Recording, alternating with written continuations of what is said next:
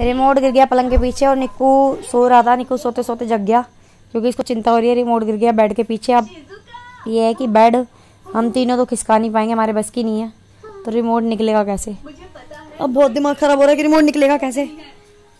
और भाई हाथ घुसा सकते हो? मैं तो नहीं घुसा सकती कहाँ है? तो हाँ हाँ हाँ मेरा तो हाथ चला जाएगा बेटा। तो घुसाओ ना। ये देखो रिमोट दिख रहा है आपको? दिख गया। अब भाई मैं हाथ घुसाऊँगी मेरा हाथ है पतला। और भाई अच्छा। ये लो मैजिकल हो गया। निक्कू बहुत परेशान था क्योंकि निक्कू सुबह सो कर उठूँगी मैं दस बजे। निक्कू उठ जाएगा सुबह आठ बजे और इसको टीवी देखना होता है कल छुट्टी भी है। हाँ कल पूरा मेरी भी है। हाँ काव्या के टीचर ने तो इसको क्लास से बाहर निकाल दिया ग्रुप से पता नहीं ज्वाइन करवाएँगे कि नहीं करवाएँगे मैं नहीं जानती क्या होगा। इसकी टेंशन और हो गई। अब मैं ज़्यादा सोचूँगी ना मेरा हो जाएगा दिमाग खराब।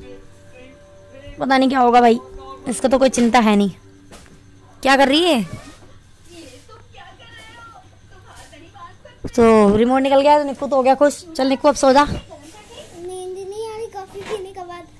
अभी हम लोगों ने पिए कॉफ़ी थोड़ी थोड़ी सी वैसे बच्चों को नहीं देनी चाहिए लेकिन एक एक घूट मैंने दे दी इनको क्योंकि ये लोग मांग रहे थे। फिर आप कुछ खाओ पियो। दिया पहले तो मांगी नहीं थी। अच्छा नहीं देती तो तू नहीं मांगती?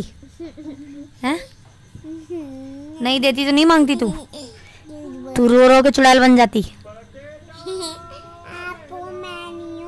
मैं तो हुई चुड़ैल की मम्मी हूँ मैं। मैं बड़ी बड़ी हूँ चुड़ैल।